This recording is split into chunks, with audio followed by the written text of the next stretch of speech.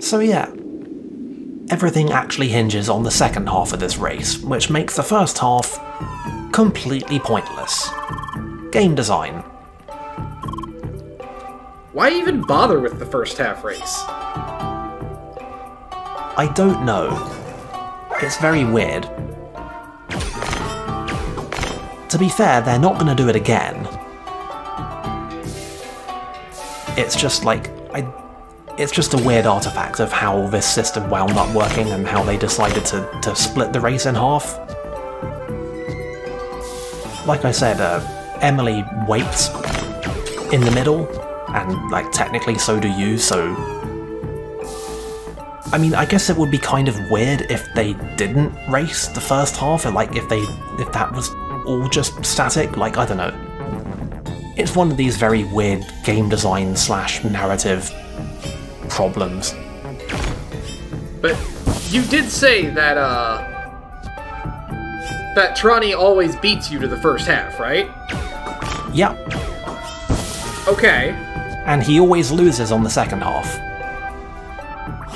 Right. I think that's my problem more than anything. Was like because now you're now you're betraying the other promise you made, which is that if you've introduced the ability to beat your friends in this race, now you're going, oh, okay, well, no, no, no, no, not in that one. That one doesn't count. It's real weird. Like I've I've gone on record complaining about I don't think the dungeon races were a great idea in a kind of a weird roundabout way. Like I love the fact that you know you're notionally racing your friend through this dungeon and you can beat her. Except I just think it's a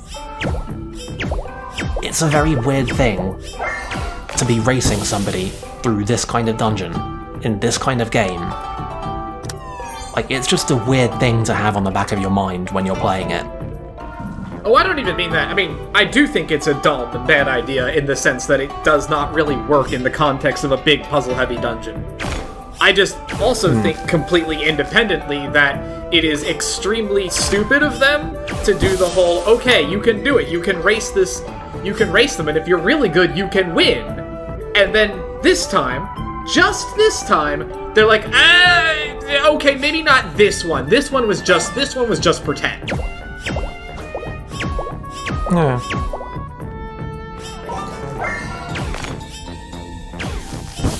I don't know. Anyway, we've got bubbles again, but now we have the cold element, so now we can do a new and exciting thing with the bubbles. And it's very important that we remember that the bubbles float until you hit them with ice. Right, I, I cannot overstate the importance of that. Also, here's a fun new enemy. These guys are fuckers. They have a lot of fire, they do a lot of fire attacks. You can put the fire out by inflicting chill on them. That's nice. But uh, that doesn't make them any less uh, dangerous. Also, I keep trying to demonstrate Frozen Star, and I keep regretting it, but like, what, what do you expect me to do? Not try and show off? Here it is. That's a pretty big number. I approve. Yep, it's not bad for one hit for one SP. And I'm sure I don't need to tell you that it's going to have upgraded versions. I'm sure I also don't need to tell you that it can crit. By the way, yes, I did actually die here. I just thought it was real important to show off what happens when you try and rely too much on high-risk techs. So naturally I'm going to keep doing it, I'm just, you know, actually going to win this time.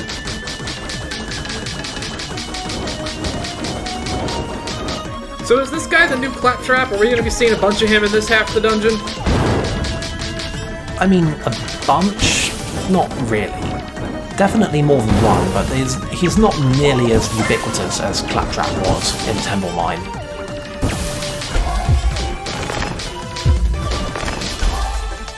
Oh yeah, by the way, we do have other ice techs, other than Frozen Star. I mean, I forget that sometimes because I like Frozen Star a whole lot, but...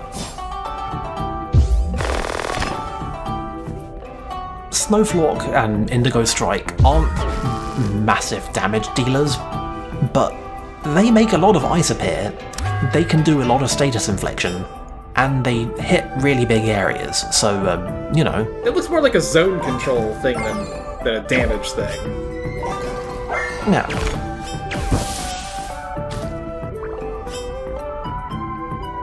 So yeah, ice puts out fire. Don't ask. You'd think that, like, just impacting the fire with a bubble would put it out, but no, it has to be ice. And for whatever reason, these bits of fire only stay out for like a tiny amount of time, but... So yeah, remember that thing when this game introduces elements with like a million different nuances and then makes you slowly appreciate how many of those nuances they are and how to control them? This is basically that again. Here's the big door. We're going to be coming back here obviously, but um, I figured this was a branching path, but actually it wasn't. This one is, it's we're gonna go pretty much the entire length of the dungeon before I check out the southward facing doors on this floor. There might actually be a reason for that. Here's a room that I fucking hate. It's got a lot of shots that you have to do. I haven't... There's, there's a couple of these that I haven't even really figured out. It's just... There's a whole lot of water and a whole lot of ice. And a whole lot of requirements. And naturally, if you mess this one up, you have to, you know, go the whole way back and go do all of these again. It kinda sucks. Also, um, maybe you forget sometimes, but these ice blocks are actually ice. They have ice physics on them. So better hope you don't slip.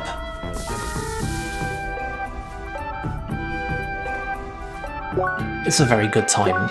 Excuse me, I'm, I'm just gonna break out these things a fourth fucking time. And we're gonna do this again.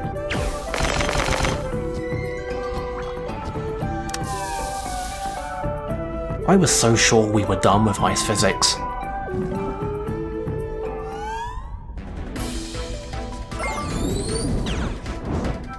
So right, wonder how ice interacts with these guys. Oh, okay. So it turns out that hitting these guys with a charged ice shot just instantly breaks them. That And it does an absolute crap ton of damage. that would check out. Bugs are not exactly known for their love of the cold. I mean, I think it's kind of amusing that these guys have um, crippling vulnerabilities to both fire and ice. But there you go. This must be that game design thing where they increase your capabilities and make you feel more powerful. Anyway, this is the second half of the dungeon, and you may have noticed the disparity in length between uh, this video and the previous one.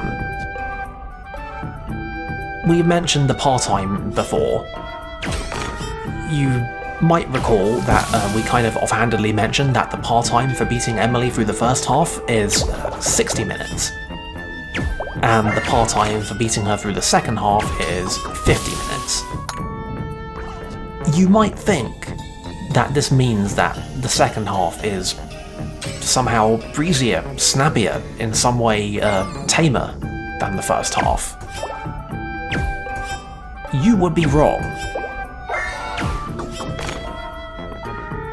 This is the point where the gloves come the whole way off. And yeah, it once again took me a little bit to notice. Yeah, curved walls. You gotta watch those diagonals.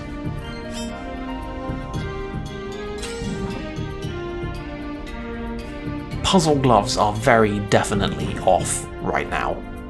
Like, Oh lord. Hmm. Well, I already hate this. Now, this once again looks a lot worse than it is. There's a couple switches here. Yeah, I, I see exactly what this is. Yeah, I just, I, I just hate it instinctually. yeah. So the first three switches you only need to hit once ever, and that's it. They're they're solved. The thing that's kind of a fucker is that you need to hit these two switches simultaneously. So you have to do a little bit of routing in order to get these things going in exactly the right order and with the right timing. Fortunately, this is pretty much the only puzzle of this kind in the dungeon.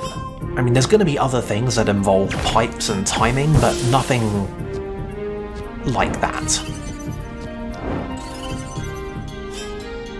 Also, yeah, um, gotta remember, the elevation difference matters. Those rocks floating in lava when you dump ice into them are half an elevation lower than we are right now. You know, I gotta say, I'm a big fan of the, uh, whoever got to name this part of the dungeon, because Big Fire Room is definitely, uh... Hmm. I can't say they're wrong. Yeah, there are there are some treats in this game for people who like paying attention to the names of rooms. It's actually not a default option in this game to have the name pop up when you enter a room. Normally, if you use default settings, you only ever see them when you look at the map or uh, when you open the quick menu. But I actually turned that on for the LP because I thought that somebody at some point was probably going to appreciate room names.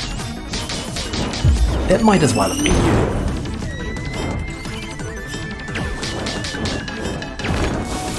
Here's me living very dangerously.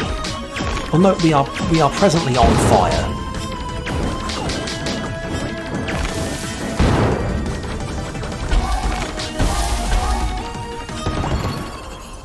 Well, the only hit point that matters is the last one.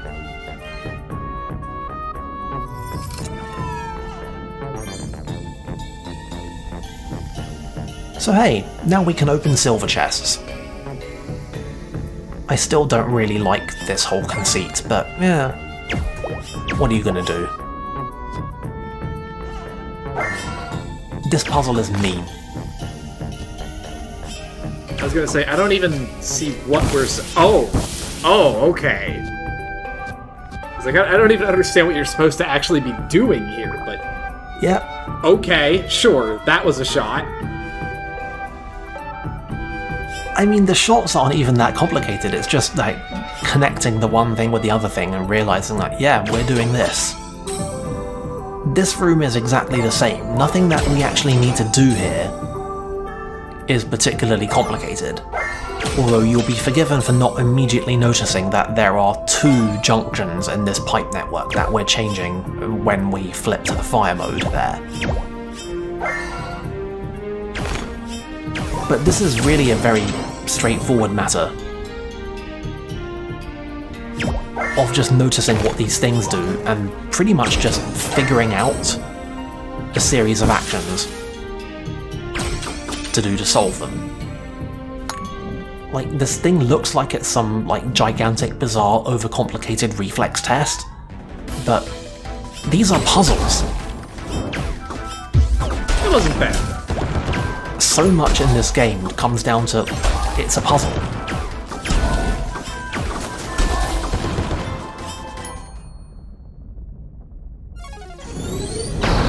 So here's a new kind of moth.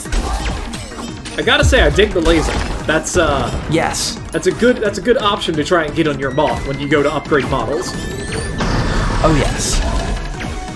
The lasers are great. Um, they're they're nice and dangerous. They'll set you on fire. They hit a big area pretty quickly. the specific deal with these moths for actually fighting them, rather than, you know, just being the same as the other ones but with a laser, is that they will always dodge your shots, except for uh, a good while after and a very short while before they fire the laser. So the standard approach is to dodge the laser and then try and hit them. The pro approach is of course to cross counter them as they are firing the laser. It feels very good to do. I was very sure that skimming this ice block over the top of those water blocks would work, but nah, we got a pre-freeze. Lame. It's a little disappointing. This one, on the other hand, is very fun.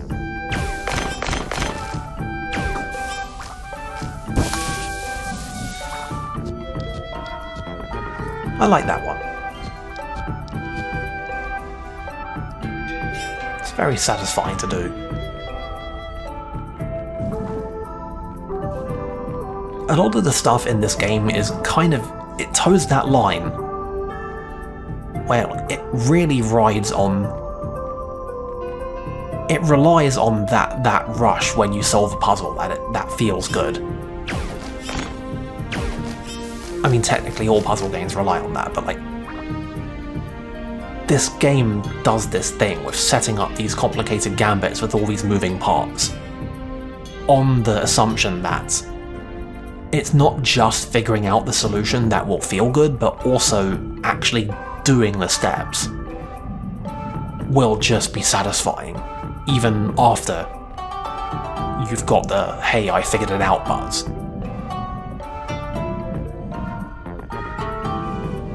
It's a balance, and I think this game just about manages it. Your mileage may, of course, vary.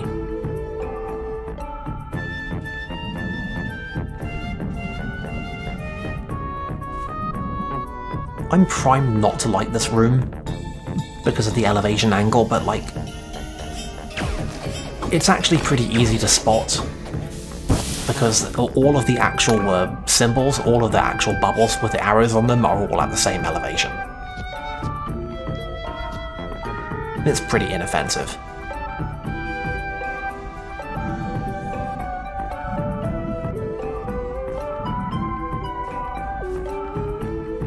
Now, you might think that this is just the same puzzle again, and you're basically right. But what if we did it again with fire?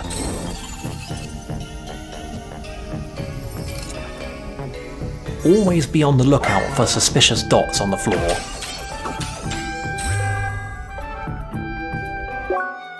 It usually pays off. Hidden treasure in dungeons tends to be really good. Like, look at this damn thing. That's pretty solid. It's real nice. It's a good piece of equipment. It's uh, actually tied for level with the with the dried grass hat, but uh, it's a lot better.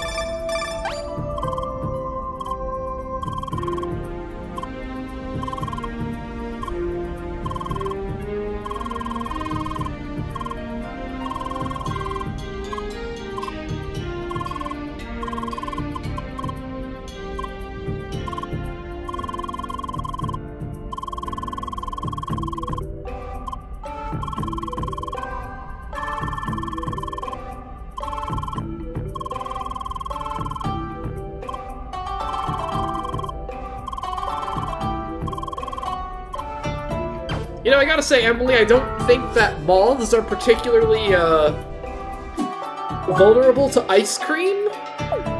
That's a, that's a new one. I mean, I, I imagine if you managed to hit one with ice cream, it would probably, you know, not survive for various reasons. But I feel like that might just be kind of incidental to the whole, you know, being hit with anything. I don't know. In any case, Emilie asks why laser moths, and I, th I don't know, I think that's kind of self-evident why laser moths. You know, I'm gonna agree with that statement. Laser moths, How could we not? much like the shark that is also a skeleton, the laser moth does not need an explanation or a lore reason to exist. And yet, Oh, I'm sure it won't stop them from attempting to give it one. I'm just saying it, it doesn't need one. It is self evident. oh yeah. Anyway, we had our first glimpse of the final puzzle room, but uh, we're gonna need some more keys before we can uh, properly get to grips with that one. First though, let's fight a couple of these guys with ice for the first time. I'm sure you'll be shocked to know that ice is pretty uniformly effective against Maroon Valley enemies.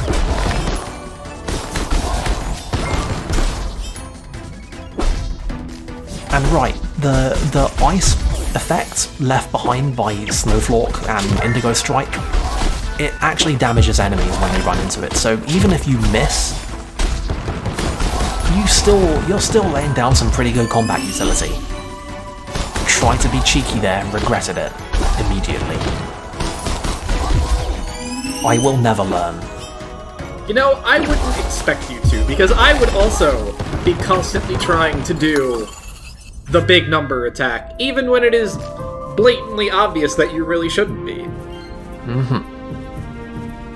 The real important thing about it is that like you're vulnerable for the whole casting time, and anything that you do that interrupts it will will just like it will just stop. If you take damage, if you move, if you try and dash, if you try and guard, if you take any damage, except in I think in a handful of circumstances, that thing's not going off. You lost it. Sorry. Should have paid more attention.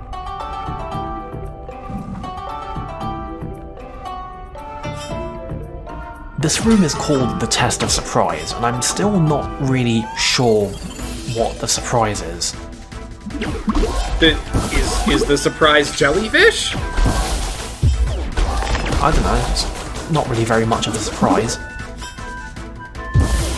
Nor, I think, should be the fact that ice attacks pretty good against a jellyfish.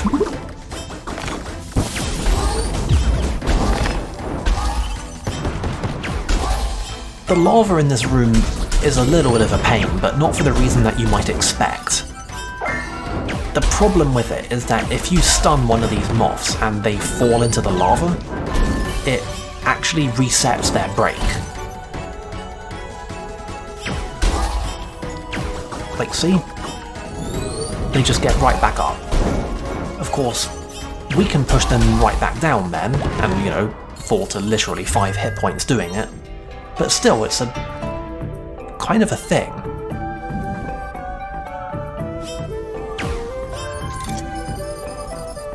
Now at this point I'm thinking, right, four keys, probably good, right? Nope.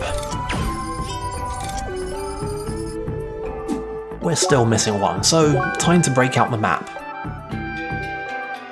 And once you understand that this whole dungeon is made of square floors, it's pretty easy to see what the deal is. Honestly, the confusing part specifically about Faj'ro Temple is that uh, there's a lot of moving between floors, and there's a whole there's a couple of rooms that are actually only accessible from the floor above. So it's not quite the, the free roam that it seems like it should be. And yeah, here's that hourglass profile again. Kinda got some, uh. some Tower of Hera vibes going on here. Specifically the one from Link Between Worlds, but We're drawing from all over. But yeah, the thing that's kind of a mess about this, about finding this room in particular, is that it's only accessible from the floor above. And you wouldn't know that if you're looking at a map of the floor that it's on, unless you realise that this whole place is pretty broadly symmetrical.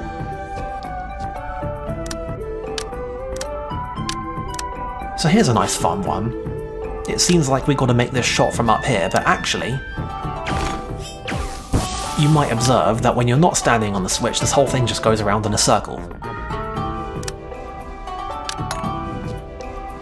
So you can solve it at your leisure.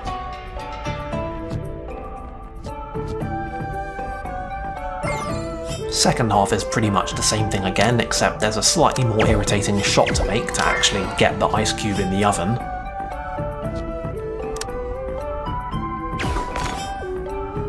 Plus, one other thing, which is that we actually are on a timer on this one. You have to do this at exactly the second available opportunity. I was gonna say, how much leeway do you actually have as far as the simultaneous input? I'm not actually sure, but it's not really relevant. The point is, you get you get two loops. You have to let it pass the first time, and you have to let it hit the second time. It's not actually possible to get it in any other order. Timing doesn't really come into it, other than actually hitting the second loop.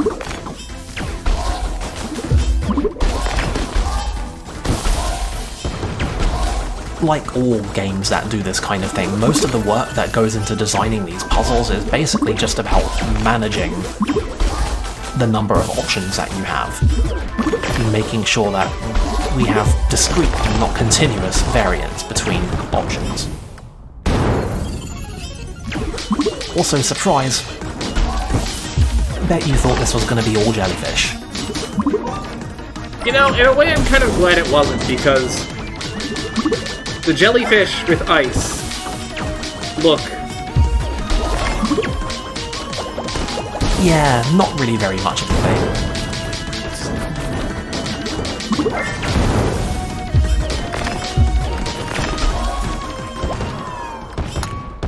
Anyway, it's a very good opportunity to get a lot of uh, very big exploding techs out. I'm a fan of it. Here's that last key.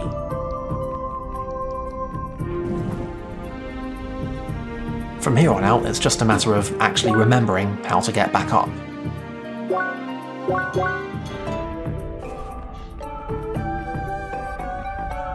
So here's kind of a weird thing, right? We had to unlock these five blocks in order to do this. But then when we unlock all of those blocks, all of this stuff just appears. It's not like the room is solvable while any of those things are locked. Okay. So yeah, time for our big climactic capstone puzzle. This one, once again, looks a lot worse than it actually is. The real important part is that we get a special block that puts our shot in slow-mo. As for the rest of this stuff, it's pretty much just... These things are pretty much just gates a little bit of cursory remembering to figure out how to actually unlock each one. And the rest of this is, like, it's pretty routine, really.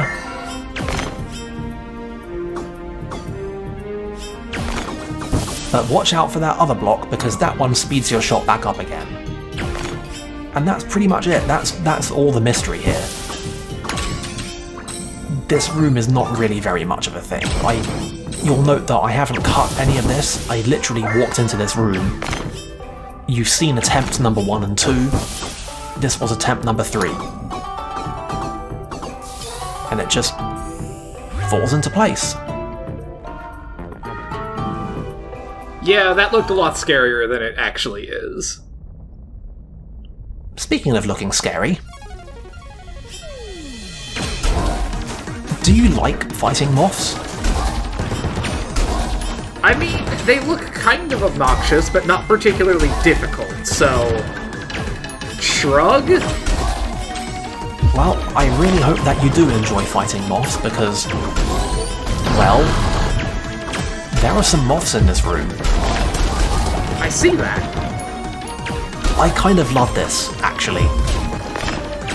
It's... It's just a gigantic clusterfuck.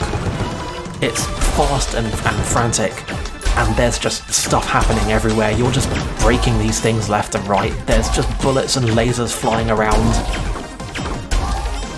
It's carnage. I absolutely love it. Not gonna lie, kind of disappointed there aren't more laser balls in this in this section. Oh, you'll notice the counter on the floor is still blinking. The night is still young. Yeah, but I mean, we saw the wall. We we if you even though you don't know, like you do know what you're in for.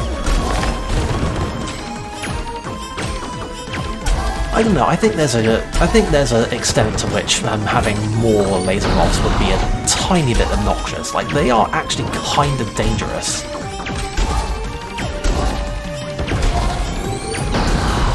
Mostly the deal with them is that they're there to make you always have to be second guessing whether or not you want to be um, attacking or counter-attacking. Because you've got to do very different things to deal with both of these. Anyway, you want more laser moths? Okay, fine. Here's three laser moths at once. Are you happy? Yes, actually. Oh, good. I'm glad this game was able to make you happy. What a good room.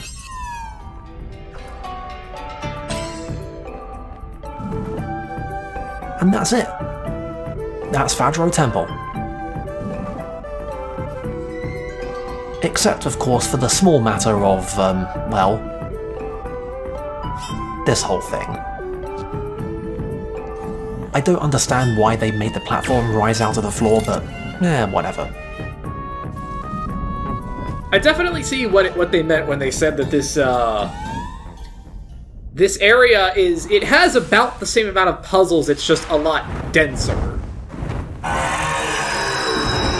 So, you wanted more Lasermoth content? You just had to go and say it, didn't you? I live for laser moth content right now. Mm-hmm. Well, here's a really big moth with a really big fucking laser. There is exactly one hole in the middle of this platform, and that's pretty much all you get to shoot him with. Then he comes down on the floor, he's vulnerable, he's weak to ice. Like, did you even have to ask?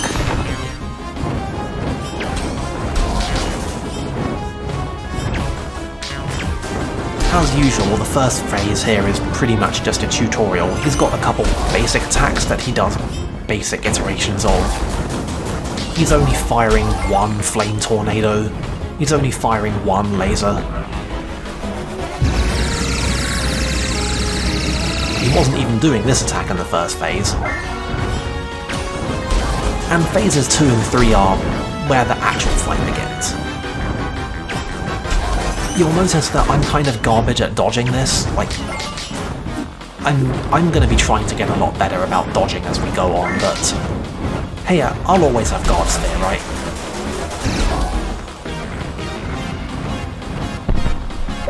In the second phase, he starts doing this bullshit when you break him. So, hope you remember how to use bubbles. And I tried, I really tried to do the skip here, but uh, I just wasn't remembering timings.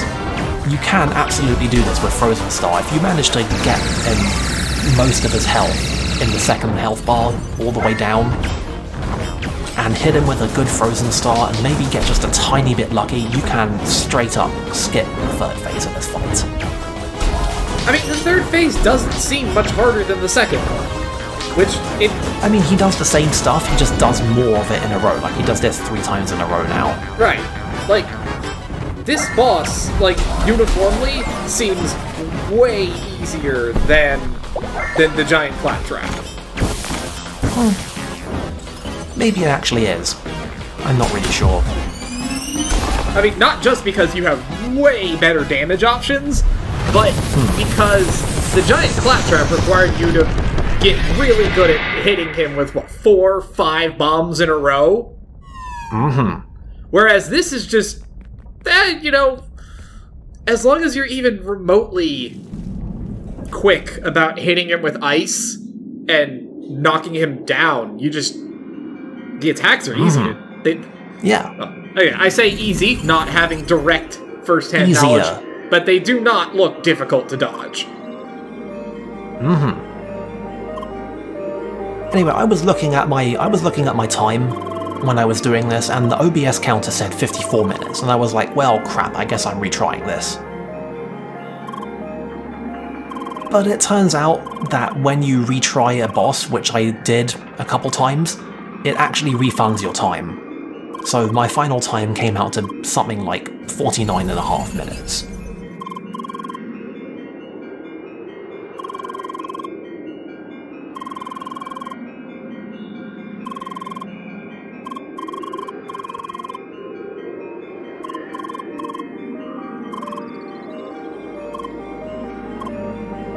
Poor Emilie. That's right, Tronny. It's time to collect the reward. Everybody's favorite thing. Capital L lore, baby. I mean, there is that. But this one does actually have something else for us. Lore comes first, though.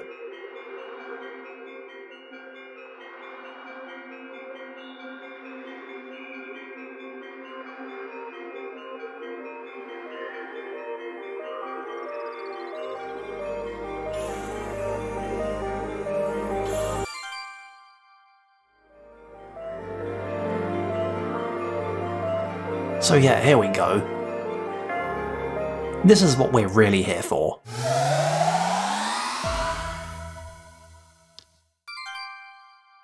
We just doubled our amount of skill points.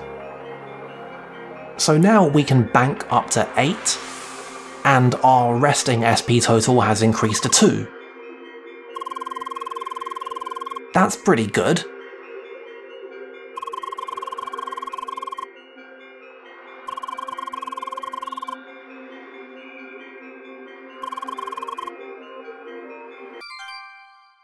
So yeah, we've gone about as far west as we can get.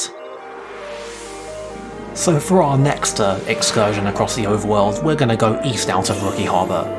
And instead of going into Autumn's Rise, we're going into Autumn's Fall. A place that seems to have been named with the express purpose of causing small arguments between Brits and Americans. I guess they still haven't resolved that in the year 3000 whatever the hell this is. I cannot believe that our friends in the Nerd Guild saw this lore and were like, no, no, no, I want to go. I want to go see the sights first. Like, frankly, I don't think they deserve to be in the Nerd Guild anymore. What's the draw of looking at stuff when you could be reading instead?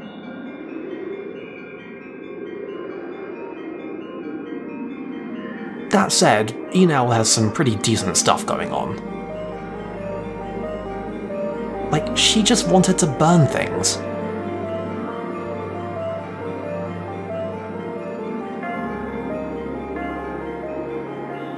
Who can't relate to that?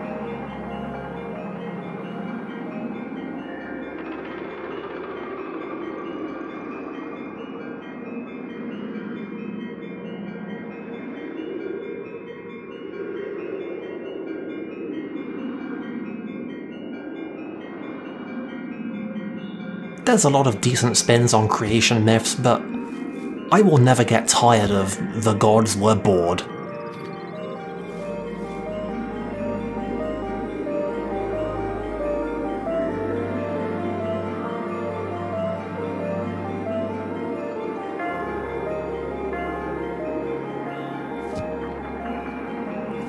Yeah, same.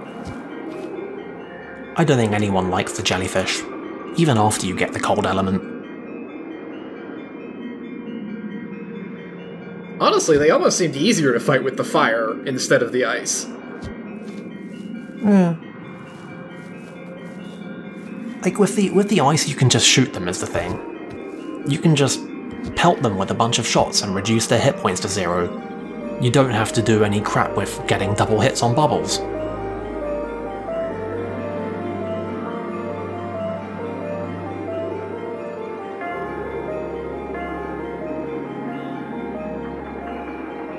Yeah, we absolutely got this one. we're missing two, and they're pretty much both just things that I noticed.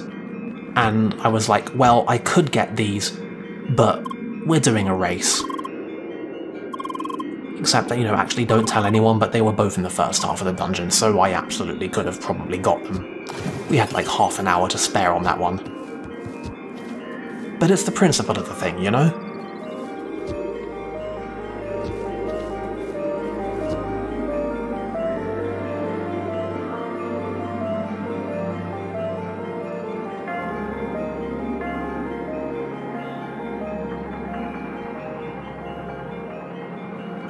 You see that village in the distance?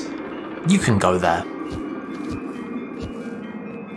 Video games, man. You know, Todd Howard would absolutely adore this game, wouldn't he? Like, Todd Howard would be. Li- I don't know, I, I, I think it works a bit too well I for mean. I'm, I'm just saying that Todd Howard would absolutely be a Crossworlds fan. Absolutely would. Okay, fine, let's go hang out with our friends.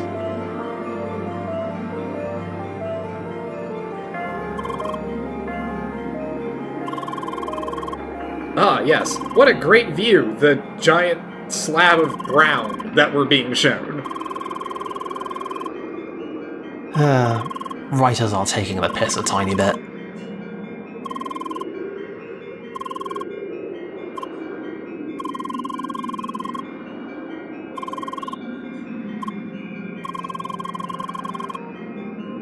Yeah, uh, Emilie?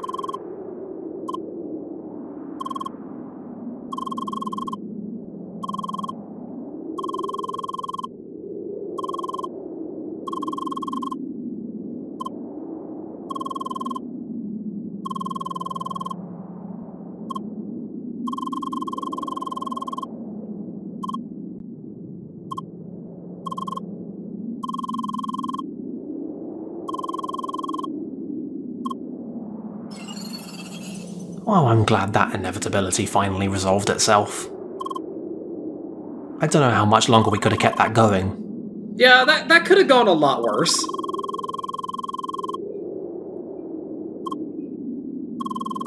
I, I don't know, Sergey. I, I absolutely can believe that Emilie managed to stay oblivious.